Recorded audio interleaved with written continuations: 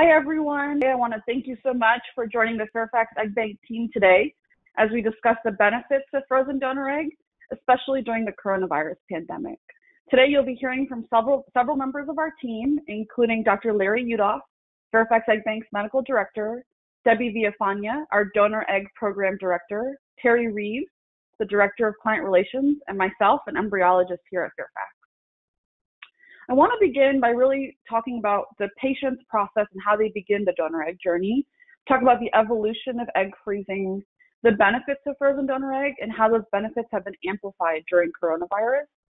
Then kind of segue into some of the precautions that Fairfax Egg Bank is taking for new donors in our program, and end with a recap of how to select and secure a donor at Fairfax, and then of course, ample time for questions at the end. Let's, however, start with a quick poll. How familiar are you with the benefits of frozen donor egg?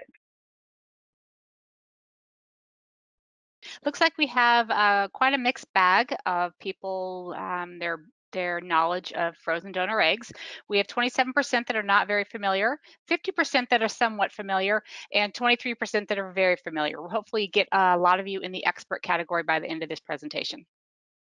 Great, thank you, Debbie. So Dr. Udoff, uh, when you have a patient that's coming in that's beginning the donor egg journey, what counseling or advice does every patient get? And are there questions that you've heard time and time again from every patient? Yes, thank you, Amanjot. A significant part of the initial consultation for a patient or couple considering uh, donor egg IVF, we talk about donor screening, uh, selection, and testing. Uh, so egg donors or egg donor candidates take months of, of testing and evaluation before we can determine they'd be appropriate uh, to be an actual egg donor. And so various categories of testing include uh, FDA eligibility testing, and this would be for any uh, anonymous or non-directed donor. And so this involves very specific testing uh, labs that the FDA has certified, a physical exam uh, per FDA protocol, a, a, medical history questionnaire, and these things are repeated, and you you have to uh, particularly update the lab testing just before the egg retrieval. So we could only use a, a, donor that has passed the FDA screening, but there's so many other important things that donors need to be screened and tested for. And so of, of course we're we're using donor egg because we're trying to get better quality eggs. So age is the single best predictor of, of egg quality, and I would recommend that all donors be 32 years uh, old or, or younger. And then additionally, we do hormone tests to check egg quality. So this includes the AMH hormone level, the FSH level, the antral follicle count, ultrasound to look at the number of, of uh, small follicles or immature eggs early in the menstrual cycle. Uh, and other things too are, are uh, equally as important. And so donors have to go through uh, psychological counseling and screening, not only to uh, uh, evaluate for any underlying mental illness, but so they're aware of what they're getting into, that this is a, a good idea for the donor and something that they would look back favorably uh, years down the road. Um, and of course, genetic testing. Mm-hmm. And so one of the initial steps of donor screening is going back many generations into the uh, donor's family history to make sure there isn't a pattern of uh, certain diseases that could potentially be passed on to offspring. And then even more so, and we'll get into more of the specifics later in the presentation, but even more so, uh, the, the, donors will have an extended panel genetic screen uh, to see what uh, diseases they may carry, and so that this information can be available uh, to the uh, recipient to make sure they're making an appropriate selection. And then we talk a lot about the option of frozen and fresh eggs and they both have their relative pros and cons, and we're certainly going to talk more about that today too. Uh, but that's a big part of the discussion, um, and uh, this gets into donor availability issues. And then after all of that, it's really up to the patient. You know, now then we focus on what's important for them. You know, what what about the donor profile uh, are they looking for in, in terms of uh, ethnicity, uh, education, um, hobbies, interests, you know, all kinds of different things. Thank you, Dr. Udoff. Um, we have 200 plus donors on the website. Debbie, can you talk us through a little bit of how patients can search the database to find the donor that works best for them? Sure. As uh, Dr. Udoff mentioned, we have quite a um, vast um, screening panel that we, all of our donors go through. It's very rigorous. Um, less than 0.1% of the donors that apply to our program actually make it through. So we have a very um, diverse group of donors and a lot to search for when you're looking for donors. The best place to start is on our donor database, which you can find easily on our website. If you're browsing through the website anywhere, um, you can click on uh, fairfaxeggbank.com um, and you can look at our donor profiles from anywhere on our site.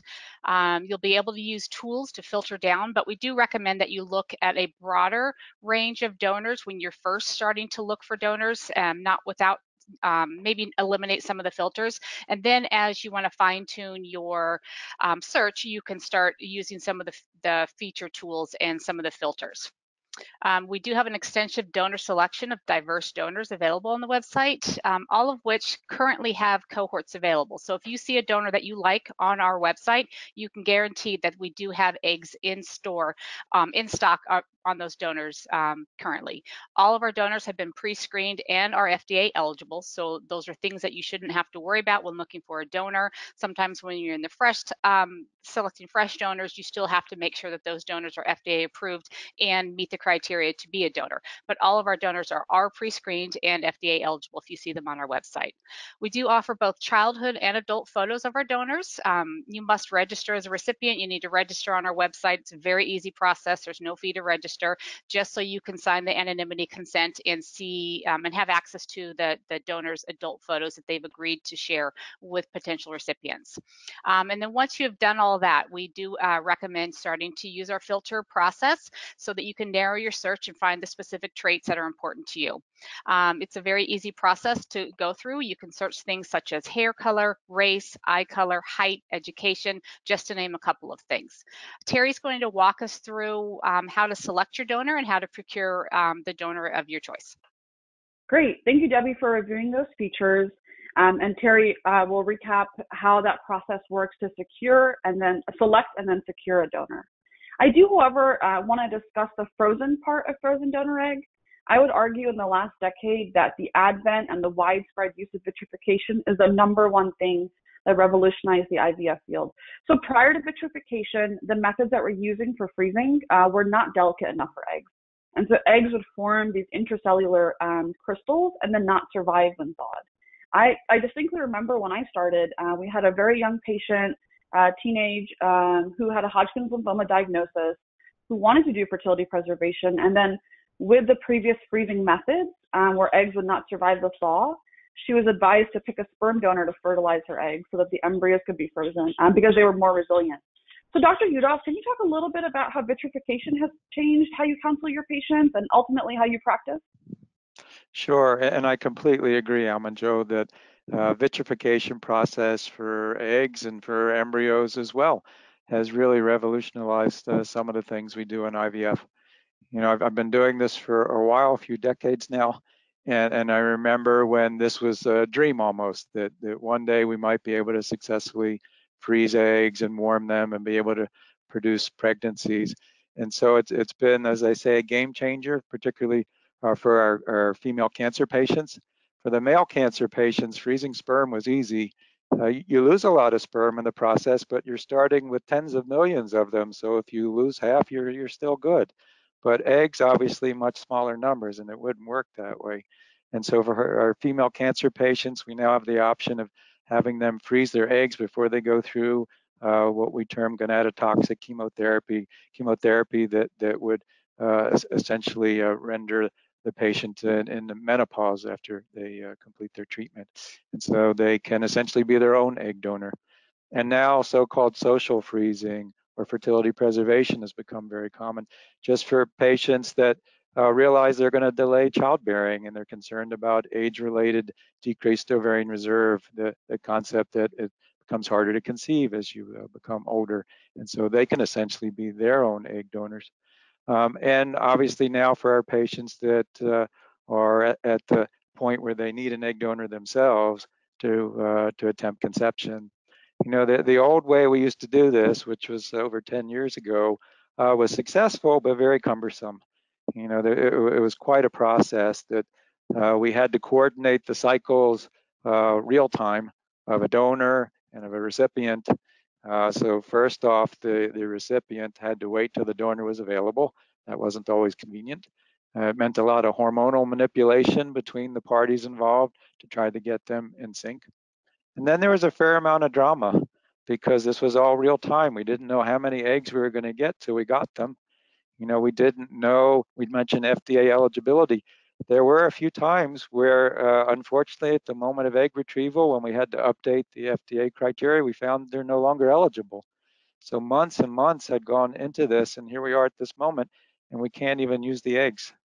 Uh, so, you know, we, we knew that when we were able to uh, perfect the technique uh, so that we could safely freeze eggs and get good success rates with them, uh, that that all this would be history. We wouldn't have to deal with with this anymore.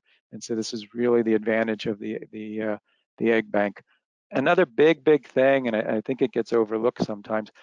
A, a big discussion in our field has to do with access to care that unfortunately across this country there are many people that need infertility treatment and they don't have access to it. And it's typically a financial reason.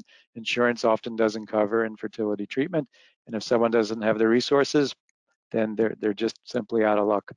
Donor egg was always one of those things. You know in my practice that uh, i would observe that patients would go through ivf and those that weren't successful and we reached the point in time where they needed an egg donor that would kind of be the the break point where where many couples just didn't have the resources to continue.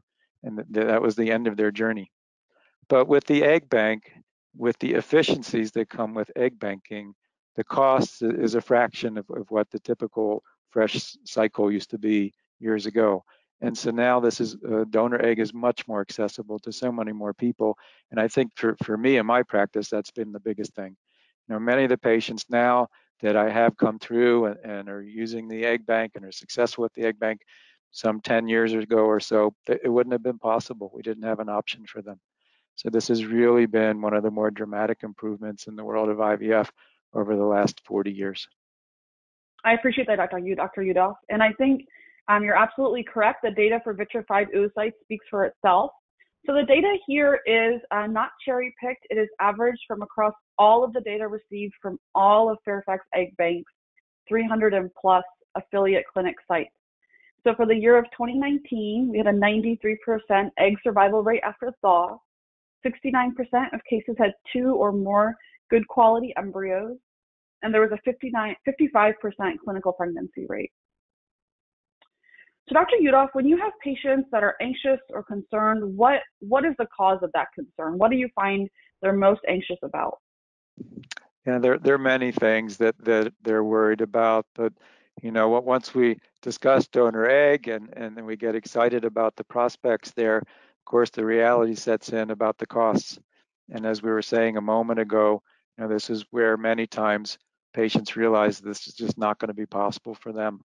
Um, and the, the egg bank has allowed this much lower cost option. And with the flat fee that's associated with the egg bank, they know what it is. There's not going to be surprises afterwards. I think that's a, a big, big difference. Uh, and, and avoiding the, the drama as we were talking about, that these are donors who have already gone through and had their eggs retrieved. The eggs are ready for use.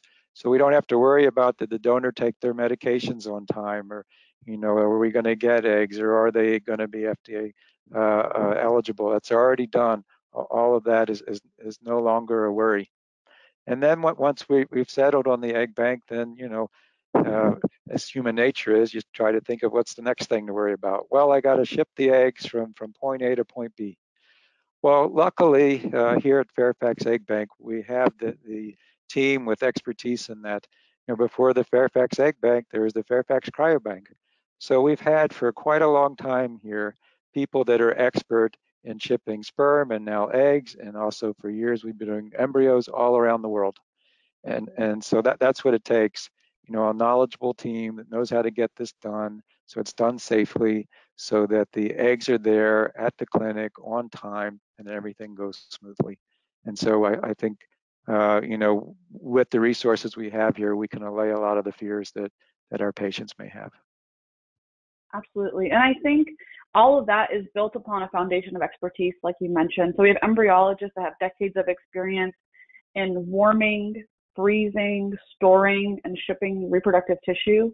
You have a donor coordinator team that is incredibly thorough and that holds each of our donors to the highest standards. Um, and then, of course, our best-in-class client relations team, who is committed to your patient and is committed to the clinics that they work with, and they want to make it as seamless as possible. So, Dr. Udoff, you touched about this a little bit earlier, but the role that genetic testing plays in frozen donor egg, can you talk a little bit more about that? Yeah, sure. Yeah, this is another big advancement. You know, it's all about technology now coming in and changing medicine. So some people have said that we, we've entered the genetic age of medicine, and, and what, what's implied there is that in, in all different areas of, of medical practice now, we are able to get more and more information about how genetics will impact things. So for example, you know, this idea of personalized medicine, so picking out an antibiotic, picking out a blood pressure medication, it, it now can be uh, done personalized to someone's genetic profile. In our world, we're, we're looking at reproductive risk, and we're looking at knowing what's the risk of a couple having a child uh, with a particular genetic disease. And so the old way, and the old way was just a few years ago, but the old way uh, was uh, taking an extensive family history, seeing if there were any risks that you could determine from that, and then ethnicity based. And then there were a couple very common recessive genetic disorders that we would always screen for because they were very common. So this included things like cystic fibrosis or spinal muscular atrophy, SMA. And so these recessive disorders are where you have the situation where there's two copies of a gene. And if you're a carrier, you have one abnormal copy and one normal copy, so you're healthy and fine. But the scenario where you have the two abnormal copies, that's where the problem lies. That's when the disease state will occur. And so what we now recommend to our patients is that they get this information preconception. And so in the in the world of donor egg or donor sperm, uh, what we do is that we would recommend that our, our, patient, in this case the sperm source, be it the partner or sperm donor, that that genetic testing panel is done. And these are extended panels. Now we are able to check over 280 different genetic diseases. So we do the extended panel screen. We see what we come up with and then we can match that with an appropriate donor where there's not a disease overlap. And, so now they know moving forward that it, there's never a zero risk, but their risk is much, much lower uh, than had they not had this information. So this is a, a big advancement, and you know I think we're in, in time we're really going to see a reduction. Individually, the, these genetic diseases are quite rare, but there's hundreds and hundreds of them. And so my hope is that, you know, in the coming years, we're going to see a dramatic reduction in uh, children born with these congenital uh, birth defects that, that are related to these single gene disorders that we can now screen for. And so then on the Fairfax Egg Bank website, if you see a helix icon, that indicates a donor that has undergone the expanded genetic testing panel. And then of those donors, the donors that have a C at the end of their donor number, um, those are tested to be a healthy carrier of one or more conditions. And of course, your client relations team can provide more information about those donors. So Dr. Udoff, I know you and I've talked offline about this a little bit, but privacy and anonymity have become something that patients ask about a lot. So with 23andMe and Ancestry.com, there's a greater uh, risk of identity information being discovered. Um, can you talk a little bit about some of the concerns your patients have, and then what the egg bank does on the donor side to protect donor um, privacy while providing options for their patients? Yes, sure. Uh, so as we were saying, that this is the genetic age. So all of our genetic information is out there. These big databases with um, 23andMe and Ancestry.com, we're we're freely giving what is what couldn't be any more private information than our DNA, but it's done and it's out there. And, and, so years ago, when we talked about anonymity, so we were talking about for most of our patients choosing an anonymous donor, what we meant then and still imply now is that we are, are not going to share information between uh, the, the recipient and the donor. We're not going to share uh, their name, address, phone number, anything that would allow them to, to connect. Uh, I can remember the old days where we used to have a, a, back entrance and the donors would come through the back entrance. So they, they wouldn't run into the patient in the front waiting room. Um, but we, we did our best to try to make sure that donors and recipients did, did meet. But we realized things are changing. There, there are many things that are changing. So one, as you mentioned, the genetic uh, information that's already out there. So it, it, certainly could be possible that a uh, an uh, offspring from donor egg could search out through these genetic databases uh, to find a, a, relative of the donor or even the donor themselves. And we, we, we make this a big part of our counseling for recipients and for donors. You know, as donors are going through the screening process to see if they're appropriate to donate, this is part of their psychological counseling. They realize they need to realize that this is possible. And same for my patients, that they go through a, a counseling process as well, and they talk about the disclosure issue most of the research about disclosure says that disclosure is the healthier option, that families are, are, are better adjusted, if you will, if at some point it is disclosed that they were donor conceived. Though this is clearly going to be up to the couple. You know, no one's going to force this issue upon them.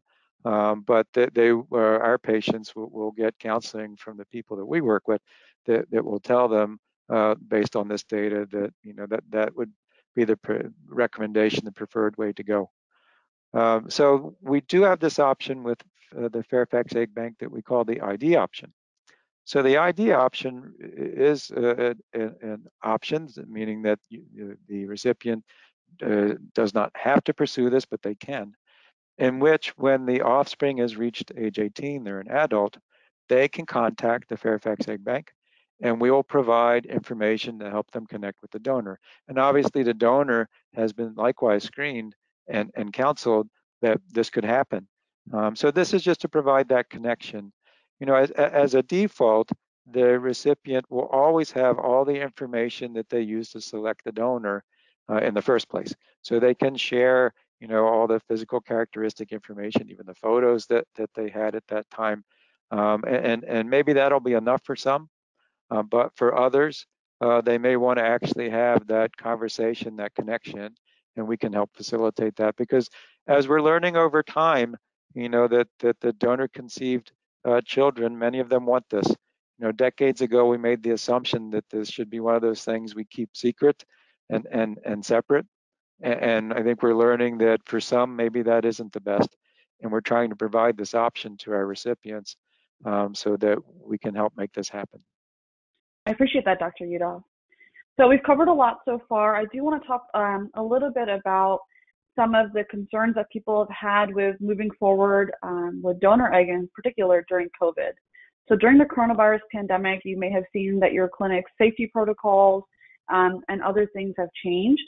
So your clinic has its own requirements for patient safety, and of course, uh, Fairfax ensures safety for our donors and our staff here.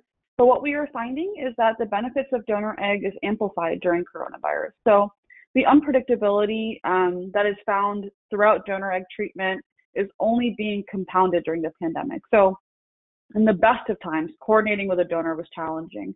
Frozen donor egg means it's available on your schedule and on your timeline while providing you a diverse portfolio of options to choose from. Um, in addition, you have a guaranteed number of eggs, so it reduces a lot of that um, uncertainty that comes with a fresh donor option. And then ultimately, uh, you have an embryo development guarantee, which provides a lot of reassurance. And we have seen occasionally instances where a retrieval does not pan out, like Dr. Udoff mentioned, where the donor is not FDA eligible or no uh, viable eggs are retrieved, they're all immature. Um, and ultimately, the patient ends up being on the hook uh, financially. And so, with frozen donor egg, um, the reliability and the flexibility we're finding is incredibly important for patients' peace of mind. And I will let Debbie kind of talk about some of the things that Fairfax is doing um, on the donor end to ensure safety. Mm-hmm. Great, thanks, Amanjot. So as you can imagine, um, you know, things are obviously different currently with COVID-19. Um, and so one of the things that we just like to, to stress is that although there's no scientific evidence of um, transmission of SARS-CoV-2 um, through oocytes, we do here at Fairfax Egg Bank um, want to take a proactive approach to mitigate the risk um, and anticipate any possible new regulations or requirements to protect our inventory. Uh, so for each cycle, uh, every one of our donors are tested both um, through screening, they're screened with the questionnaire and they're actually tested with the RNA um, nasal swab to make sure that they're not um, currently infected with, with COVID, nor have they been exposed um, in the last 28 days. So we do ask them twice throughout the cycle. We ask them again once at the beginning of their cycle before they start their medications, and we do the RNA test. And then again, just before they have their retrieval, we will um, make sure that they're safe to proceed with their retrieval and ask them then and do the test again at that time. Um, if we do find a donor it does test positive or answers yes or in a positive way to any of the questionnaires, um, then we will defer the donor and will not proceed with the retrieval. So the last thing that we want you to worry about is COVID in this time of COVID. So when you're purchasing eggs from Fairfax Egg Bank, you um, you know if a donor has come through and cycled during that time, you can be assured that she has been screened, she has been tested, and we found her not to be um, positive or at risk of transmitting or, or of, of, having COVID-19. Um, a couple of other things, you know, um, at the beginning of a cycle, again, you know, we, we do the testing and we do, there's many clinics that will even do it on recipients that, um, you know, helps to make sure that you're not uh, uh, positive at that time as well. Um, so that's, again, the last thing we want you to worry about when having to select your donor. So uh, now I have Teri to present to you um, how to select your donor and how to move forward in securing a donor. Wonderful. Thank you so much, Debbie, and welcome everyone. I'm super excited about this webinar and the information that we are able to share with you today. So when you're ready to proceed, we are ready to help. And I'd like to review the process of securing a donor with Fairfax Egg Bank. The process at a high level can be summarized in four steps. Consult with your IVF clinic, reserve the cohort or cohorts that you wish to purchase, complete necessary documentation, and finalize the purchase. So we're going to go through each of the steps in greater detail. So the first step is to consult with your IVF clinic. It's very important that we know that you are able to proceed with frozen donor egg, and your healthcare provider may request additional testing to confirm that you are in fact a suitable candidate. And our team will confirm that you have been cleared by your clinic to purchase frozen donor egg. Once you've been cleared to purchase frozen donor egg, you can visit our website, as Debbie introduced you to, um, to view um, not only the donors, but also to confirm that your clinic is an affiliated partner with Fairfax Egg Bank.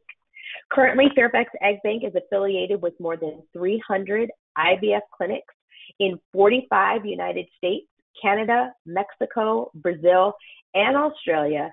So it is very likely that we're already affiliated with your clinic. However, if your clinic is not affiliated with us, please don't worry.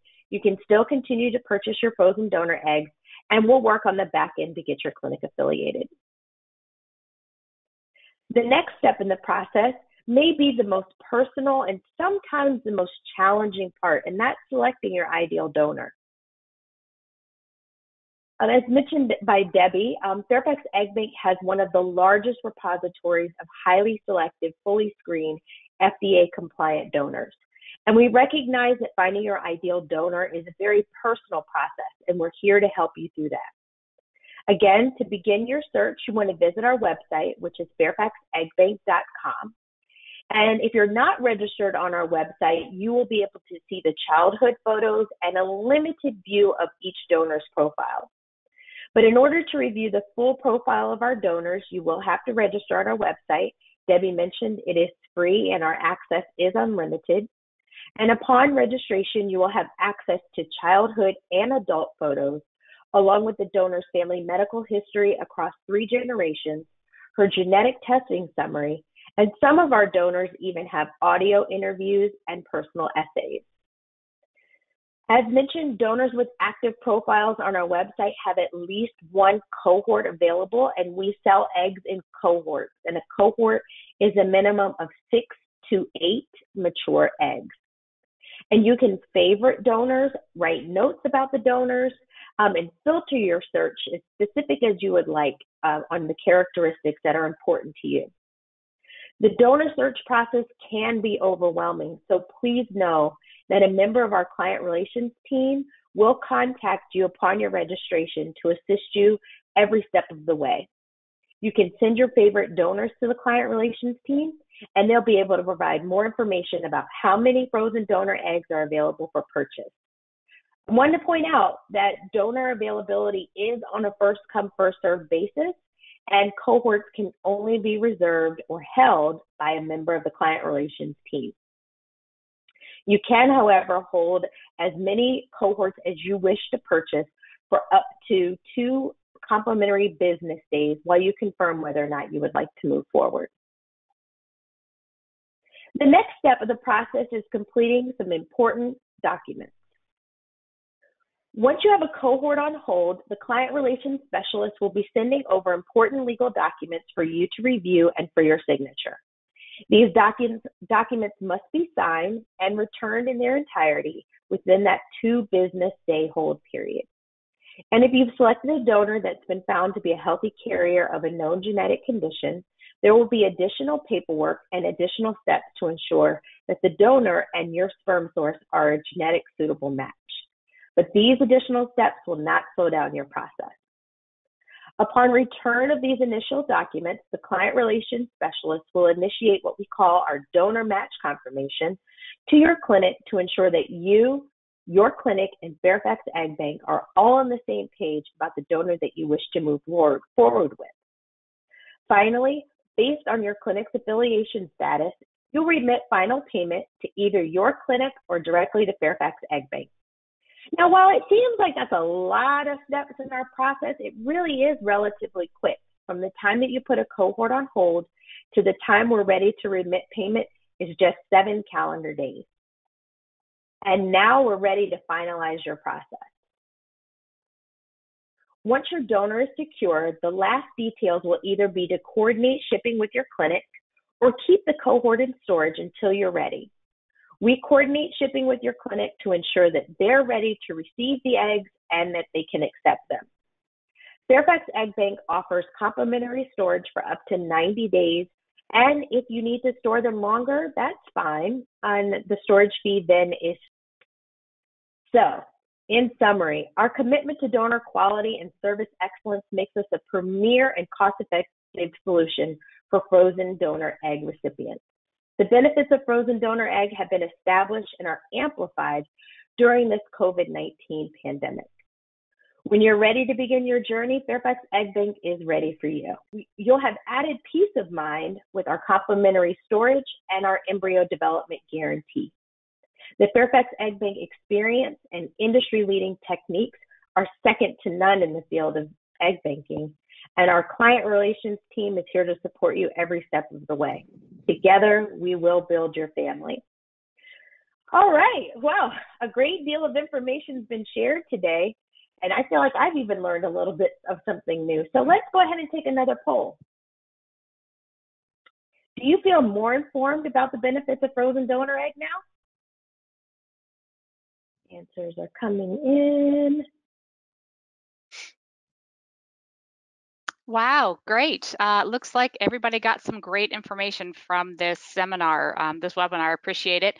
Um, looks like, yes, great information, 78%, and somewhat need more information, 22%. I'm more than happy to make this, uh, actually, this uh, information webinar will be available again. So um, if you missed something, like to go back and, and listen to it again, it will be available um, coming soon. So that's great. Thank you, Debbie. Um, and now we have time for questions.